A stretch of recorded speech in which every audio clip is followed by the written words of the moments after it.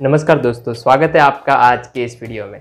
आज के इस वीडियो में हम देखने वाले हैं, अगर आपका बैंक ऑफ़ बड़ौदा में अकाउंट है और आपको एटीएम कार्ड रिसीव हुआ है, फिर जनरली हम क्या करते हैं वॉलेट सब लोग आज यूज़ करते हैं, जैसे पेटीएम है गूगल पे है फ़ोनपे है बैंक ऑफ़ बड़ौदा का पिम बड़ौदा पे ऐप है, उससे हम जनरली ऑनलाइन पेमेंट करते हैं रेलवे टिकट बुक करते हैं रिचार्ज वगैरह सब करते हैं।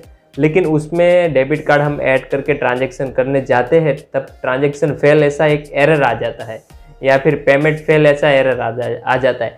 पैसे तो आते हैं आप किसी से मानो कि आपका कोई फ्रेंड है उससे फ़ोन पे वगैरह से पैसे मंगवाओगे पैसे आ जाएँगे। लेकिन आप जब भेजने जाओगे तो ट्रांजेक्शन फेल आ जाएगा। क्या है इसके पीछे रीज़न आज के इस वीडियो में हम देखने वाले हैं। दोस्तों आप इस चैनल पे नए हैं तो चैनल को सब्सक्राइब ज़रूर कर लीजिएगा क्योंकि यहाँ पे only for bank of Baroda related useful video आपको मिलती रहे। दोस्तों generally ATM card debit card हमें रिसीव होता है तो उसमें क्या होता है? अभी आरबीआई की नई गाइडलाइन के हिसाब से सभी एटीएम कार्ड डेबिट कार्ड जो भी नए हैं, उसमें ई कॉमर्स मतलब ऑनलाइन के लिए ऑप्शन स्विच ऑफ़ रहता है। उसको हमें ऑन करना रहता है। अगर हम ऑन नहीं करेंगे तो डेबिट कार्ड ऑनलाइन वर्क नहीं करेगा। कोई भी बैंक है, आप कोई भी बैंक कर लो, सभी बैंक में सेम ही रूल है, नया डेबिट कार्ड आता है तो उसको ऑनलाइन अगर आपको यूज़ करना है। जनरली क्या होता है, हमारे पेरेंट्स अगर बड़े लोग हैं, पचास, पचपन साल की उम्र है, उसको खाली डेबिट कार्ड को एटीएम से पैसा निकालने के काम करना होता है, बाकी और कुछ काम होता नहीं है। तो इसलिए क्या, उन लोगों के साथ बहुत सारे फ्रॉड हो रहे थे ओ बेस इसलिए आरबीआई ने गाइडलाइन जारी कर दिया।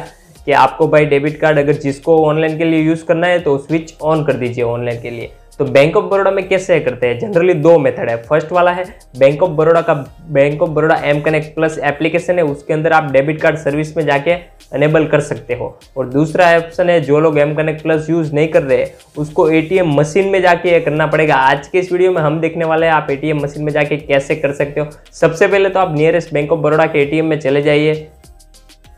सबसे पहले आप एटीएम कार्ड अपना एंटर करोगे तो आपके सामने कुछ इस टाइप का ऑप्शन आ जाएगा लैंग्वेज सिलेक्शन का। यहाँ पे मैं इंग्लिश इंग्लिश लैंग्वेज सिलेक्ट कर रहा हूँ।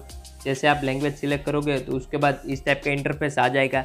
यहाँ पे आपको फ़र्स्ट वाला जो ऑप्शन है मैनेज डेबिट कार्ड उसके ऊपर सिंपल क्लिक करना है। जैसे ही हम मैनेज डेबिट कार्ड पे क्लिक करते हैं तो एक नया इंटरफेस ओपन हो जाएगा। आप अपना एंटर पिन कर दीजिए, फिर उसके बाद कुछ इस टाइप का इंटरफेस आ जाएगा।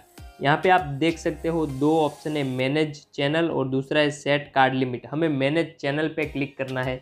जैसे आप मैनेज चैनल पे क्लिक करते हो तो आपके सामने फिर से एक नया इंटरफेस ओपन हो जाएगा। फिर चार ऑप्शन आएँगे। आप देख सकते हो यहाँ पे A T M P O S E commerce और कॉन्टैक्टलेस हमें ई कॉमर्स जनरली हम जो एरर आ रहा है, इसके सॉल्यूशन के लिए हमें ई कॉमर्स पे क्लिक करना है। यहाँ पे मैं ई कॉमर्स पे क्लिक कर रहा हूँ।